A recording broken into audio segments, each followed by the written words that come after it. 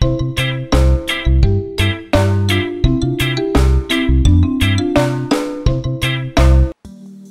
tout le monde, j'espère que vous allez bien. Aujourd'hui, on se retrouve pour une revue de la compagnie Yves Rocher. Donc, ça va être un petit mélange. Je vais avoir un petit peu de maquillage et un peu de produits soins. Sur le site de Yves Rocher, j'avais fait une commande et entre autres, je m'étais procuré ce rouge à lèvres Qui est un rouge à lèvres marron glacé. Donc, je vous montre la couleur.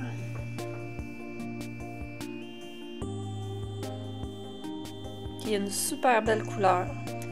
Puis euh, c'était moins évident de décider des couleurs sur Internet, mais euh, je suis vraiment pas déçue.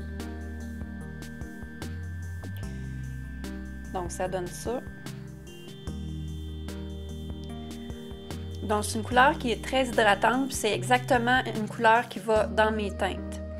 Donc ça donne un résultat satiné et brillant. Euh, moi j'ai trouvé qu'il y avait un grand confort à l'application à cause de sa texture crémeuse. Puis euh, c'est une formule qui est sans parabènes. C'est un rouge à lèvres qui est hydratant.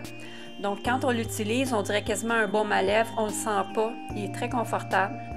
Par contre, il a un peu tendance à s'étendre et à fuir un peu sur les côtés. Donc moi, je suggère de l'utiliser avec un crayon contour. C'est une super belle teinte.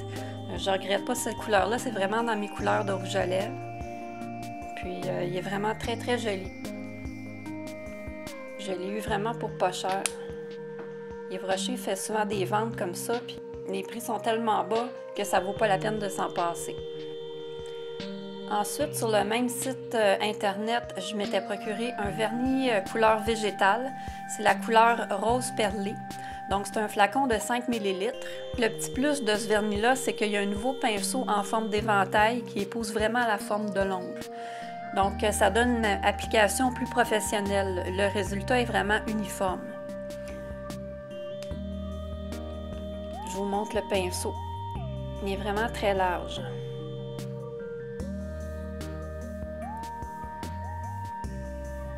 On le voit ici, est plus large que les autres pinceaux habituels.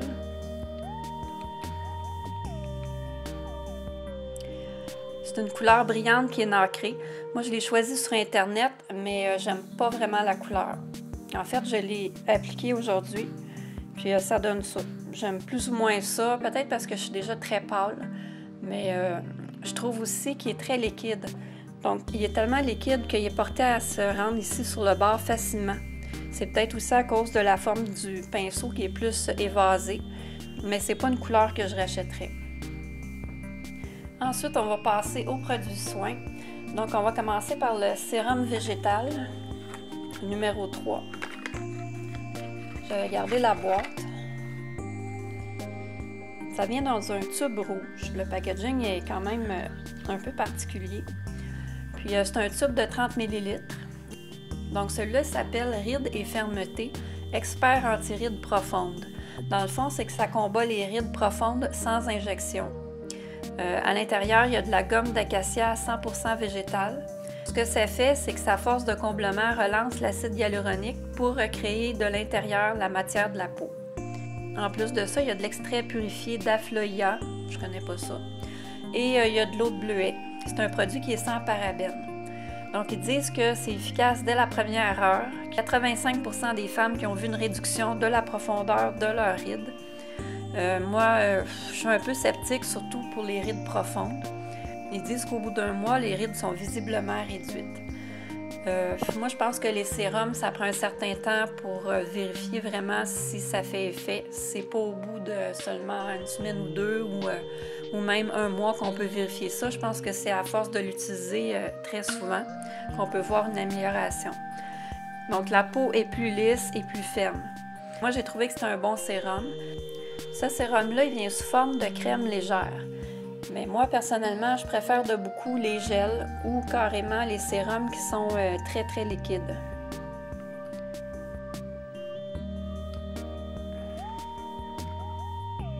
Donc, euh, c'est comme ça. Ça pénètre bien dans la peau, mais euh, personnellement, je préfère les sérums qui sont vraiment plus en gel ou en crème. Puis ce que j'ai trouvé de moins fun aussi avec ça, c'est que, bon, c'est quand même assez liquide, mais c'est difficile de le faire sortir du tube quand il en reste presque plus. Fait que ça, c'est un autre inconvénient. Par contre, il sent super bon.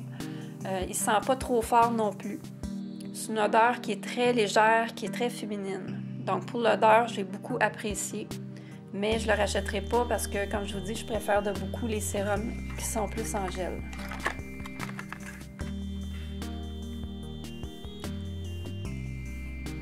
Ensuite, on passe à la lotion tonique perfectrice.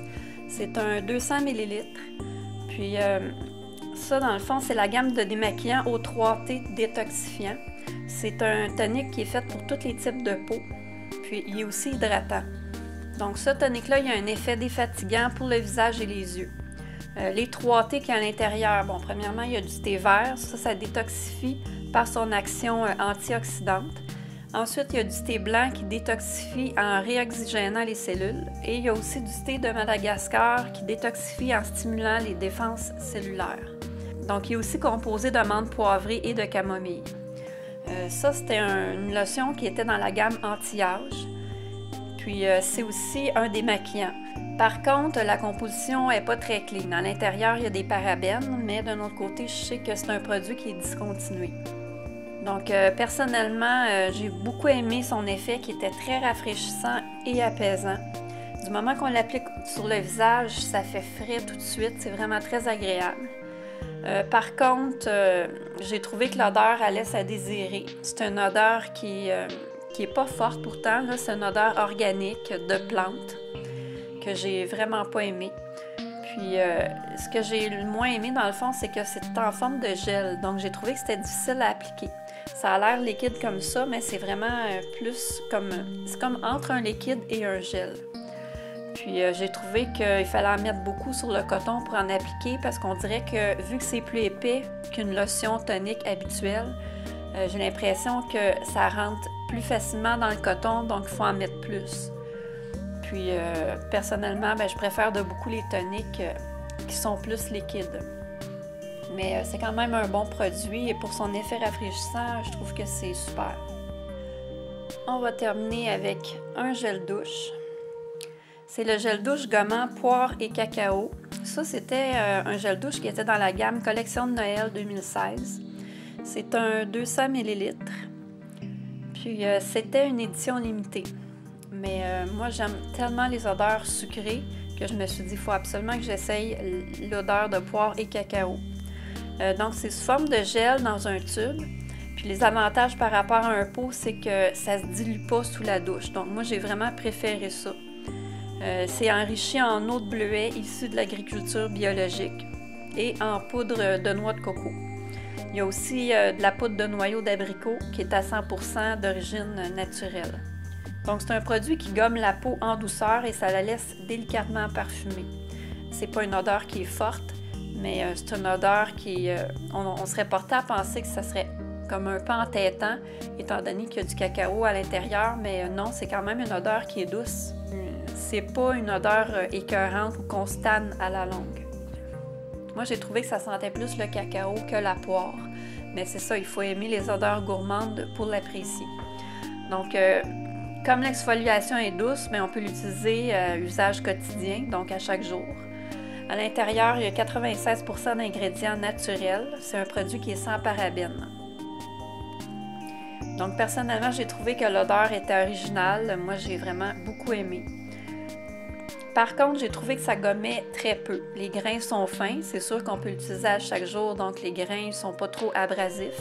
Mais moi, je vous dis, si vous voulez avoir un, résultat plus euh, efficace, je dirais de l'utiliser avec un gant loufa pour que ça gomme vraiment plus. J'ai trouvé qu'il moussait très bien. Je dirais, euh, si vous voulez vous le procurer, je dirais de l'acheter surtout pour son odeur. Bref, euh, comme un gel douche. Donc, j'ai beaucoup apprécié ce gommage-là. Donc, c'est tout pour mes produits Yves Rocher. J'espère que vous avez apprécié. Si c'est le cas, abonnez-vous si ce n'est pas déjà fait. Mettez un, commentaire, mettez un pouce bleu et nous, on se revoit dans une prochaine vidéo. Bye!